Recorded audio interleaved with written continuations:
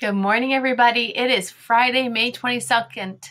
Welcome to your last day of full lessons. You guys should be so very, very, very proud. You have made it, I think it's like nine weeks now, where we have been doing distance learning, and every day we've been practicing our sounds and our syllables and our reading and our math and our writing. And you guys have just persevered and just amazed me. So thank you so much for working so hard. Today is our last day of, of, of full lesson. When you check back in on, on Tuesday and Wednesday next week, we're going to be having some fun things for you guys to do for your last two days. And Wednesday's the last day, guys. So um, we're going to get started with our sounds today. Please work as hard as you can today. Show that grit that I know you have and finish off strong, guys, okay? So, um, to, yesterday was or Wednesday was game day. Yesterday was reading day. Today is America Day. So uh, if you're wearing red, white, and blue, that's kind of fancy. Uh, just so you guys know, on Tuesday it's dance day. And then E is enjoy your summer. That's our last day of school. Um, I've gotten 25 points so far. I'm going to see how many more points I can get today for Friday. So yesterday, uh, my family and I practiced doing the long jump. We jumped um, as far as we can go. The longest jump was six feet. And that was by Norm. And then um, we did some jumping jacks. And the last one we did yesterday was, oh, we were throwing the frisbee. So uh, that was kind of fun. So I have 25 points. See if you can beat me um, this week. So here we go with our last sound practice for the school year. Here we go. Ready? Say the sounds. I know I can't hear you, but I'm trusting you that you're doing these. So EI is going to say that A sound like uh, in vain bull, ow, er, tull, ow and o, tur, spur, i, z, t, r, gull, f, and v, x, ow, er, bur, tur, whoop, aw, x, oi, j. Remember that G E G I G Y make the j sound, the J sound.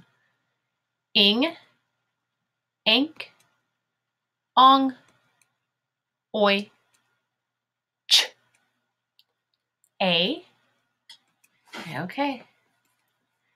Oh, this is kind of weird. They are missing their sounds. What does the TH say by itself? Or th and then er. But those we can't, we they're not tied together. Let's tie them together. Ready? Ooh, that ER at the end is going to be its separate syllable because it's at the end, like in teacher and brother. So we're going to keep this as two syllable words. So ready? Here's our first syllable. Unk, thunk, er, er, thunker. Is thunker a word? No. Okay, we have that er at the end again, so it's going to be a two-syllable word. Here we go. I, thigh, er. Thire. That a word? No. Let's try th, th I. Thy, er. Thyer. Still not a word. Okay, so now we go, we don't have that bossy R at the end, so now it can become one syllable word. Here we go. Ein, sign, not a word. On, son, not a word. Og, thog, not a word. Ig, thig, not a word. Oh, does anyone remember? When LE, um, consonant LE, that's a separate syllable, so this is going to be a two syllable word. If this is a two syllable word, this I is now going to be open and it's going to say its name. Ready? I, thiggle, thiggle. Definitely not a word. Oop, see it? Consonant LE, that is its own consonant. So it's going to be uh, open syllable again, and it's going to be a two syllable word. Ready? Here we go. I, thidle, thidle. Not a word. End, find, not a word. For end, friend, not a word. For and, friend, not a word. Squ and, squand, not a word. K and, canned. Ooh, you can can something like in a tin can, but it's different spelling. Ooh, anyone remember what does CE say together? Yep, that's going to say that S sound. C E C I C Y. It's going to say the S sound. Send. Send. Oh, send is a word, but guess what? It has an S. Okay, fantastic job, guys. So let's look at our syllables for today. Okay, what's first step? Find my vowels. I see an I and an E. Okay, so now I want to find my consonants. There we go. Oh, do you guys see a CE next to each other? That's going to say that S sound. Don't forget when we say it. Okay, I see two consonants, so we're going to do what? We're going to divide them. Okay, let's go ahead and tap it. Per, in, prin. Remember, CE is going to say the S sound. Cess. Princess. What's this word? Princess. Awesome. And this I is going to be closed, and so is this E. So they're going to say the short sound. Okay, let's find our vowels. We have a vowel here, and we have a vowel I. And then we have our consonant in the middle. What do we usually do? We usually break it after the first vowel. That's what we're going to try first. This U is then open because there's nothing after it, so it's going to say its name. This vowel, this I, is going to be closed because it's closed in between two consonants. So let's go ahead and try this. Mew, mew, z, ick, music. Music is a two syllable word. Okay, so today for our word wall, we have should, warm, today, world, years. What I want you guys to do is, as you guys are going through second grade and even in the summer, if you come across those red words, I want you to remember how you tap out the words. Okay, so let's go ahead and practice that today. So we have, I'm going to try to get into the camera, guys, so I apologize if I can't. Remember, red words, you always tap out each letter, you never say the sounds. Okay, so we're going to do warm first. We're going to do it three times. Ready? W A R M, warm. W A R M, warm. W A R M, warm. Okay, today. T O D A Y, today. T O D A Y, today. T O D A Y, today. World, ready? W O R L D, world. W O R L D, world. W O R L D, world. Okay, last one is years. Like you are seven years old. Y E A R S, years. Y E A R S, years. Y E A R S, years. Okay, so then today, I want you guys to see if you can write a silly sentence and see if you can fit all five word well words in it. Okay, so I got to think about this. Um, let's see. Today, the world said I should be 100 years old. Let's see how many words I was able to use. I used the word today. I used the word world. I used the word should. And I used the word years. Oh man, I didn't get to use the word warm. See if you guys can be better um, at silly sentences than I can. Um, I'm excited to see some of your silly sentences. Okay, so today is our last decodable story. Remember, decodable stories are stories that have sounds that we already know how to read. They usually have a pattern to them, and um, we we are able to read them with ease. Okay, so we're going to be looking for a couple things. This story, we're going to highlight three two-syllable words that begin with a with a closed syllable. So we know what a closed syllable is, is because that vowel is going to say the short sound. Uh, over here, we're going to look for two-syllable words that have the open syllable. So it's going to make the um, long vowel sound. Okay, um, so we're going to read the story first on both pages, and then we'll go back and do um, our, our annotating. Ready? In winter, please get your reading finger ready and help me read. We saw geese fly over us. The group flew in a V shape. They traveled to locate food and a warm place for the winter. Should moose leave too? Their world is frozen solid. So bark is their major food. Today, we can stay warm in our cabin. We sip hot soup with spoons. We put on boots and coats. It feels like years until spring. Okay, so let's go back and we need to highlight and look for um, three two syllable words that have a closed syllable. Closed syllable means my syllable is going to be short. Ready? So when you hear one, you tell me to stop. In winter. Oh, we found one already. Winter has the I sound inside winter. Here we go. We saw geese fly over us. The group flew in a V shape. They travel, ah, ah, ah, tra, travel. That's that, ah, that, see how it's closed? It makes the ah sound. To locate food and a warm place for the winter.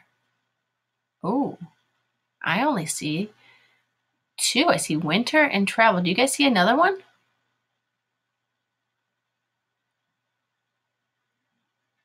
Oh, because locate is an open syllable. Hmm. Maybe they were talking about this other winter. Okay, well, I'm just going to highlight those two. Here we go. Find circle two two syllable words that begin with an open syllable. Should moose leave too? Their world is frozen solid. Oh, frozen. See how it makes the O sound? So bark is their major foods. Major there we go. And you know what I see over here? I see another one. So maybe they meant for us to put it over here because solid makes the ah sound. Okay, this one was, we're going to circle three words that have the same vowel sound as moon. And it just makes the long U sound. Doesn't have to be the O-O. So the first one they found was soup. Makes the oo sound. Today we stay warm in our cabin. We sip hot soup with spoons. Oh, spoons, moon. We put on boots and coats. Oh, there's our other one. There's boot. Okay. So today for our last GoNoodle, I picked my favorite. I know we've done this a couple times, guys, but it is just my favorite GoNoodle, so I cannot wait to do this last one with you. So you ready? Get it up. Hi, I'm Henry. Get ready to pop to beat Go Pop. Don't worry about getting the moves right. Just let loose and have fun.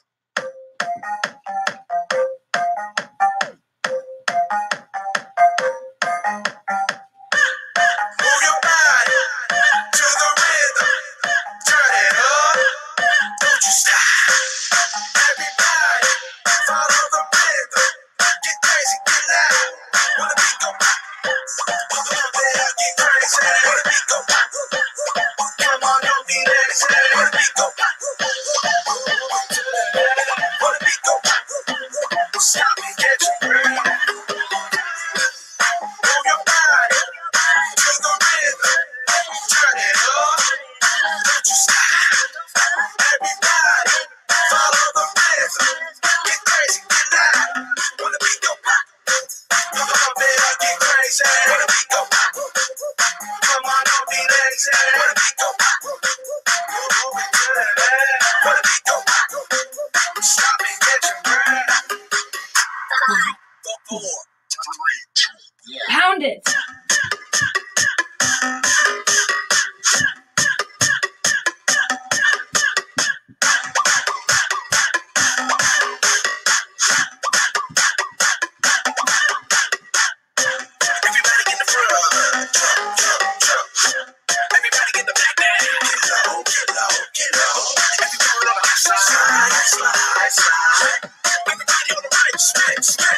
Yes,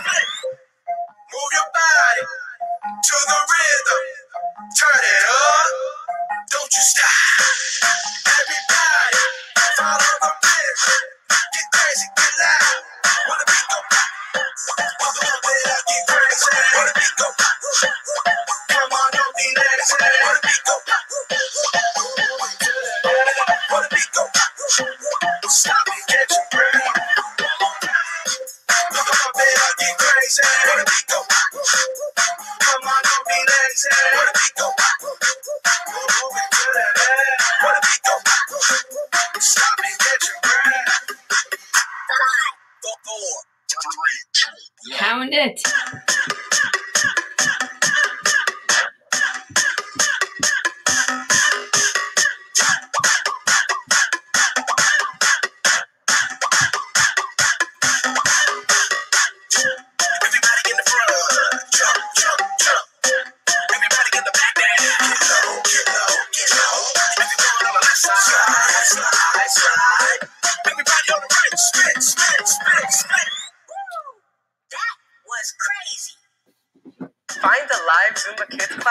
Zumba.com. Nice job, guys. I hope you had as much fun doing that as I did. Fantastic. Okay, so our last COVID 19 journal entry for today is Friday when I stayed home. The hardest thing was, well, there were lots of hard things, but also a lot of good things. So today's date is 5 22 20. So while I stayed home, at home, the hardest thing was that I couldn't go see my mom and dad. All I wanted to do was give them a big hug. And you guys are home with your mom or your dad, but my mom and dad live somewhere different. And so I had to keep separated from them because they're a little bit older. And so I couldn't go hug them. And that was really hard. Another thing that was hard was I was away from all my amazing first graders. I missed hearing them laugh and telling me funny stories. So, those are the hardest things for me um, when we stayed home during the COVID 19 time. So, that would be mine. Okay, so for math, math today, our last thing is we're going to play just um, a game together. It's going to be kind of hard for you guys to play it with me, but I'm just going to have you um, yell at the computer and tell me what you think. So we're going to be playing time to the time to the half hour. Match up the clocks that show the same time. So let's go ahead and do our o'clock times first. Now remember, the little hand is going to be pointing to the number, and then if the hand goes straight up, it's o'clock. So you tell me when I get to the clock that says 11 o'clock. Yep, that's 11 o'clock. 11 o'clock.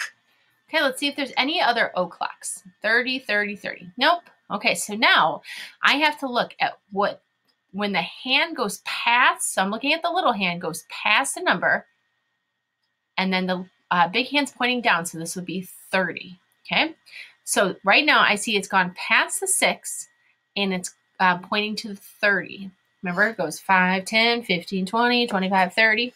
Okay, you guys tell me when I get to the right clock. Oh, it's right there. 6.30. Okay. You guys tell me when I get to 8:30. Okay, so this is going to be goes just goes past the 8 and it's pointing down to the 30.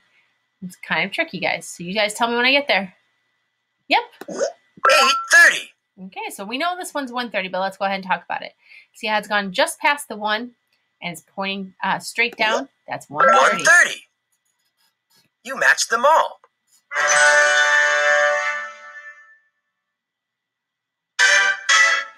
Ooh, we are a master. You are a master.